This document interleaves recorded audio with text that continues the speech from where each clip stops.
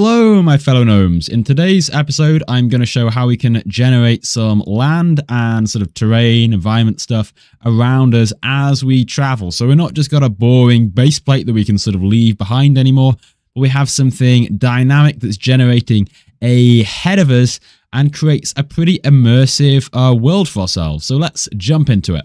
So first off, let's make our base plate uh, look a little bit more interesting. Um, so let's get rid of this texture and instead let's make it uh, sandy and give it a sort of deserty color, much better. And now let's go add in a folder for ourselves. We're going to call this land and oh, we've got the capitals on land and we'll drag our base plate in. Now, we could generate um, a whole base plate ahead of ourselves, but just so we can kind of see what I'm doing a little bit better, Instead of making it uh, 2000 studs, I'm just going to make it 128 studs. So it's much smaller. And then what I'm going to do is I'm just going to duplicate this base plate and generate a new one in front of ourselves each time as the train travels along. So we're going to line these up sort of roughly with our train track. So in order to do this, we're going to need a new module script inside of our train handler. I'm actually going to place it inside of the track, since it's sort of to do with that. And we'll call this environment. And we'll rename the module accordingly. And just like with our tracks, um, we're going to keep record of what we've generated. So land generated is going to be a blank table. Well, actually, it's not going to be entirely blank because the first element in it is going to be workspace.land.baseplate. And then we're going to create a function, function environment dot add next. And this is going to be called from the track dot add next. So once we've done all this stuff with the track, well, we're going to use that new piece to inform whether we need to add another base, base plate. Um, so let's make sure we're actually calling um, our module from inside of here as well. So environment is equal to require script dot environment. And now we have that. We can say environment dot add next. Fix that typo. There we go. So that next piece that we've just generated, we're going to send to it. And also, just to keep track of what number we're currently on, I'm going to send the, the total number of existing tracks as well. Now, whether we want to add in a new piece of land or not will depend on how big our base plate is. So let's check the current land, which is just the land generated and the last element of it. So initially, that's just going to be our base plate that we've already made. And then we want to check if the position of the next piece the player is adding, track piece, if the primary part dot position dot z, if that's further forward than the current land dot position dot z, then, so in other words, we're more than halfway across this. So if I had this blue part, it's not. And then as soon as it crosses this line, the position dot z of this part is further forward than the position dot z of the base plate. So when the train reaches this far forward, we want to generate the next piece of land. So local new land is just going to be a copy of our current land. So current land clone, we'll assign it a C-frame, which is going to be the same as the previous one. And then we just want to offset it by its size on the Z axis. And then I'll give it a name too. So rather than just all being called base plate, let's have base plate and then maybe the current number. So I was setting the amount of tracks that we had. So let's do that. Let's make it equal to, so if we have track number here, we can say is equal to base plate track number plus one again. We'll add this new land into the workspace.land folder. And then finally, we'll add it into our land generated table. There we go. So let's go into our train now. And we can see we've actually already generated the next piece of land because we have that buffer all set up. So we've generated three pieces of track and that has resulted in um, these three pieces of base plate. Although the numbers are three and four. Hang on, that's not quite right, is it? I think what I meant to put uh, instead of hashtag track number, instead of track number, we want hashtag land generated plus one. So now if we click play, I think the uh, the numbers should be right. The numbers don't matter, but it's nice to have them all numbered, isn't it? So if we get in our train and start moving forwards, we should see the next track gets generated and the next piece of land. So we now got two, three, and four. And we'll keep going forward. Now the the, the tracks are going to get uh, despawned. They're going to get cleaned up behind us, but we're not removing the land. So let's add a bit of cleanup for that. So just below, let's add a new function. Invite. Hang on a minute. I've spelt it right here, but not here. Oh dear, what a mess. I'm struggling with this word today. Environment. Right, let's correct all of these so we're not got any weird spellings. Let's check if we want to remove it. So we're just going to loop through all of our current land in land generated. And we can check if, well, if we have land and that land has a parent, so it's not already be removed, and the position dot z so just as we were checking the position there, we're kind of going to do the opposite. If it's less than a certain Z position that we're going to supply to this function, if it is, then we can just go ahead and destroy it. Land destroy. And we're not going to remove it from our table just so that we can keep a record of how many pieces we've actually generated for our iterator there. So now we've got this function, let's call it from our track function, we've got the track.generate. Just here, we are removing the track. But just before that, we want to remove old environment. So let's call our environment.cleanup function and we'll send it for the Z position, the old track that we're removing. Old track dot primary part dot position dot Z. And now when I'm playing the game, it should generate a head of me but then as soon as we leave that buffer behind us, the land's going to get destroyed too, and all those things on it will go flying. And we'll see it again. There we go.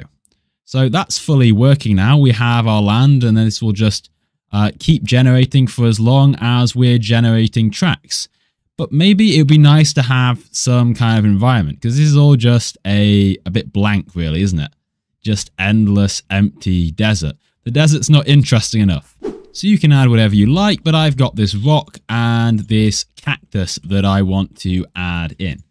Now I've just added a little invisible box around each of these um, that I want to line up so that this box, let's make it uh, semi-transparent so you can see it. And I'm going to use this box. It sort of sets a bounding box and allows me to use it as the primary part of the rock and the same thing with the cactus. So we'll set that to fully transparent for both of these. And then I'm going to go into server storage, add in a new folder called assets. And then I might want more assets later on in the game. So we'll have a subfolder called uh, decoration. And we'll drag both the cactus and the rock into the decoration folder. Now, I think with the decoration, we're going to directly offset it from our track piece. So in our environment script, and I've just noticed I have butchered the uh, the name here as well. Let's fix that. Dreadful spelling for me. Environment. There we go. Okay, we've got that name correctly. Let's just make sure I've named it in the... Uh, there we go. Rename it in there too. That's now fixed. Back to scripting. Spelling bee complete. Uh, so in our add next, we do land. And now we want to do decoration stuff. So I'm going to add in a new folder and we'll name the folder environment. Let's make sure we spell it right. Underscore dot dot and the corresponding track number. And then the folder dot parent. Um, because we're probably going to have a few of these, let's add a new top level folder called environment. I'm making really sure that I spell these correctly now and we can paste it into there. So workspace.environment. And then let's say we wanted to spawn in um, five different cactuses or cacti. So we'll loop through five times. So we want to be to the side of the track. So let's get an X offset in the X direction. So we'll use the track piece, get its primary part and the size of that dot X. So how wide it is. And then we're going to add a, a random value somewhere between 15 and the size of the land. Current land dot size. Um, well, half of it, I suppose. Or we might not even want to go all the way out. So we could just do like a third of it. So we're not going to be generating stuff at the very edge. I'll zoom out a bit so we can see that whole line. And then we're going to have a Z offset. So this is how far forwards it is. And this can be just any old number really. So let's generate a random number somewhere between uh, minus 50 and 50. Um, as my track is 100 pieces long, that will give me plenty of room to work with. So now we know that the position is equal to the position of the track plus a new vector 3, which is comprised of our x offset. We don't have any y offset, but we do have a z offset. So now all that's left to do is to copy one of these models and place it into this environment folder that we're creating. I'm actually going to create a new function for this at the very top. Spawn track decoration, which will take the name, the position, and what we want to parent it to. So first off, let's try and find the asset from uh, game dot server storage, or we should probably, whenever you're using services, it's a good idea to create a top level one. So game get service server storage, and then you can refer to it like so. Dot the assets, and we'll try and find anything with the name. Um, if there is not an asset, then something's gone wrong. So let's just warn no such asset and the name, probably just because you had a typo or something if you're getting this flag up in your output and return out of here. But otherwise, assuming that we've found it, then we can just make a copy of it. And we might even want to position these at a random angle as well. So the angle can be equal to cframe dot angles.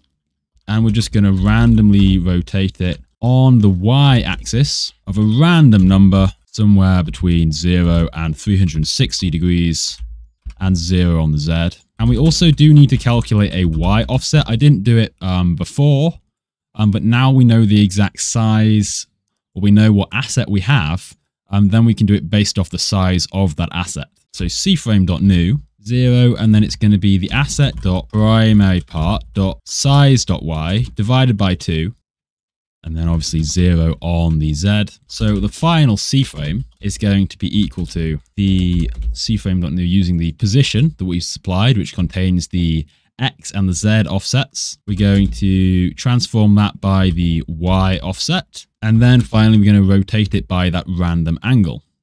Once we've done all of this, we'll move our new decor, pivot to that C-frame we've just created. And finally, we will parent it to whatever parent we're given to the function.